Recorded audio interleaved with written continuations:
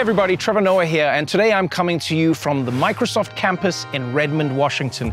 I'm meeting up with Saqib Shaikh. He is the creator of a revolutionary app called Seeing AI. Now, this technology essentially empowers people who have blindness or low vision by giving them detailed descriptions of their immediate environment just by using the camera that's on their smartphone. And so today, the question I have is, how can we use AI to empower people with disabilities to explore their world? You can't find answers without asking the right questions. This is The Prompt with me, Trevor Noah.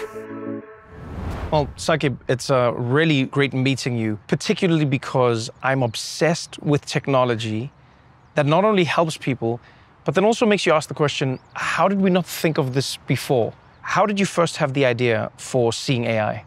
I lost my sight when I was 7 mm-hmm. And I remember thinking, you know, what would it be if you had uh, something like a pair of glasses that would just describe what's happening around you all the time? And I sometimes imagine, what if I had a tiny friend on my shoulder looking around and whispering in my ear.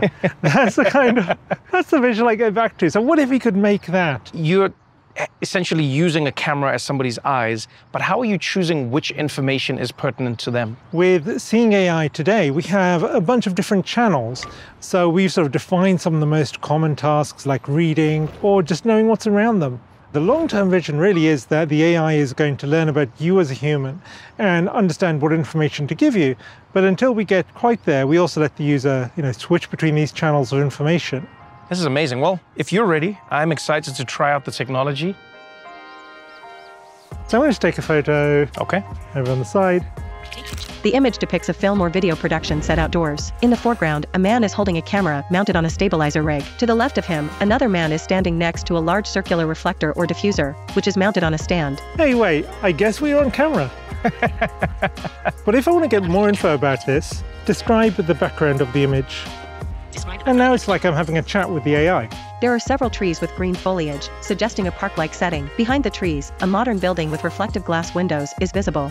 There are some outdoor structures, such as a gazebo or canopy, and various pieces of equipment related to the film or video production set. I didn't even notice the little gazebo that it's talking about, and it's there. And then I didn't think about how reflective that building is, but it's there. It's in, in, a way, it's almost painting a richer picture than you would almost naturally get. As, as, someone who's blind, you pay most attention to the things directly around you or that you can hear, mm -hmm. whereas these kind of descriptions let you dig into those details. How long did it take to train this data, or what data is it trained on to get to that point? So we're using a lot of these large language models, and then we sort of do our own layer on top of that, where we're trying to instruct it on exactly how it should work for someone who's blind. Oh, here's, okay, so this would be great. I'd, I'd love to see what it sees.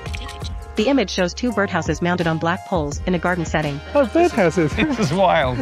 The larger birdhouse has a circular entrance hole near the top. The birdhouse on the left is shorter and smaller. Surrounding the birdhouses are various green plants and bushes. The ground is covered with soil and some scattered leaves and debris. That's so fun that even describes the entrances to the birdhouses. Yeah, yeah. Just helps conjure up that image.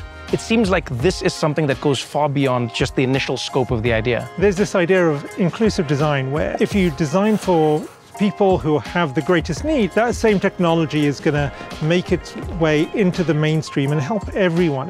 What does it really mean to somebody to have this type of technology? I think the independence it can bring is really powerful, whether that is going through the mail and being able to separate them into piles for the family, putting your groceries away by scanning the barcodes and knowing what's in them. Maybe with a kid and you want to show them photos from the past. Right, right, so right yeah, across all of life, it helps you be in the driver's seat. That's what great technology should be doing. Absolutely.